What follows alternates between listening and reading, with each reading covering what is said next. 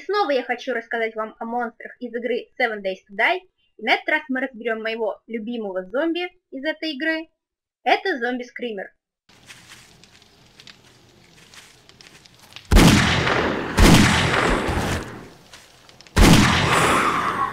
Зомби-скример, или же крикунья, один из новых видов зомби, появившихся с релизом Альфа-13. Их притягивает тепло, то есть, например, костры или печи.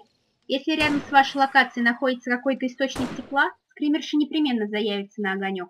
Сама по себе она никакой опасности практически не представляет.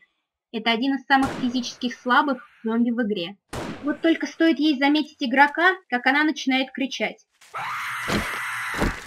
Кричит она примерно один раз в 20 секунд. На каждый ее крик стекаются зомби, причем самые разные, от обычных до зомби-медведей. Иногда она может вызвать даже других скримерш, которые, в свою очередь, вызовут других зомби. Убить ее лучше всего прицельным выстрелом в голову. Каждый раз, когда мы наносим ей урон, но не убиваем, она начинает кричать. Предположительно, это либо ребенок, либо подросток, поскольку она гораздо ниже других зомби. А вообще, скримерша с ее привычкой привлекать других зомби может быть существом довольно надоедливым. Так что...